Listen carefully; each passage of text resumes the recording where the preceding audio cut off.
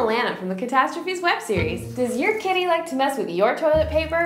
We find that putting the roll on backwards stops Kitty from being able to unroll it. But if you're unwilling to compromise the over-under, consider going mobile and carrying your toilet paper around with you at all times, like I do.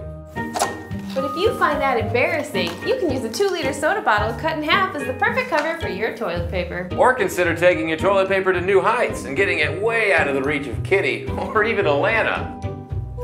You doing? I'm showing them how it works. This tip has been brought to you by Catastrophes, so you don't have one. Hey Lana, What? can you help me out here? I just, I can't reach it. It's just a little too, it's just too high, I think. Tough.